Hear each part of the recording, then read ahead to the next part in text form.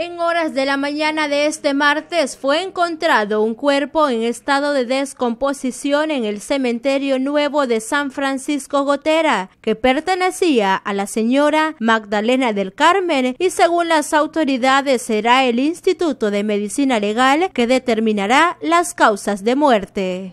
Esta mañana realizamos el procesamiento de la escena del cadáver de una persona de sexo más femenino que fue encontrado al interior del cementerio general de la ciudad de San Francisco Botera.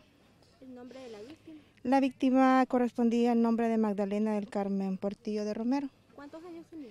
Ella en vida tenía la edad de 41 años de edad. Fue llevada a, medicina legal para realizar la investigación, a realizar el procesamiento pues, de autopsia correspondiente y pues realizar la investigación del caso. Según información extraoficial, la víctima había salido de casa desde el pasado domingo y fue encontrada hasta este día en estado de putrefacción. Sin embargo, las investigaciones por parte de las autoridades han iniciado para determinar el hecho.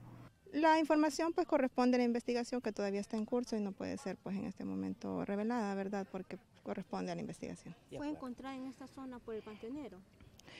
No, fue dada pues la información por parte de las autoridades policiales a la fiscalía.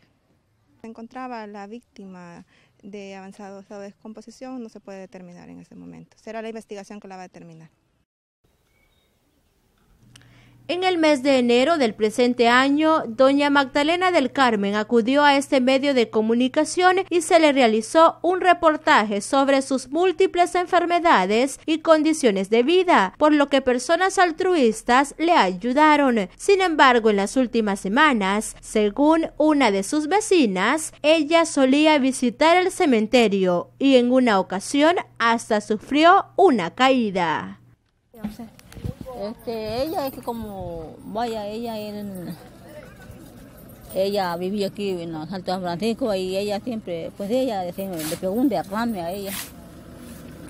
Y la pobre, ella andaba, y como las días no la podían detener. ¿Estaba enferma? estaba enferma, sí.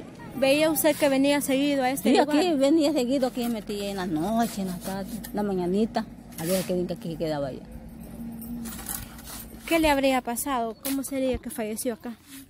Bueno, quizás ella fue que quizás se fue en alguna tumba, quizás hay como hay de tumba ahí que están, pues sí, están solas y quizás ahí, porque la otra vez que estaba trabada en una tumba y un señor bien que las trabó.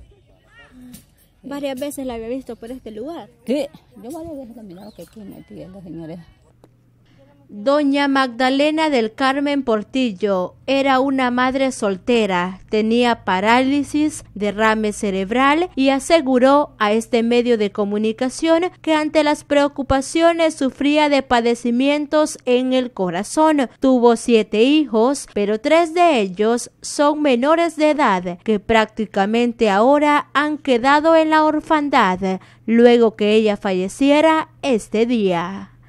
Con imágenes de César Sánchez para Sol TV Noticias informó Yasmin Ramos.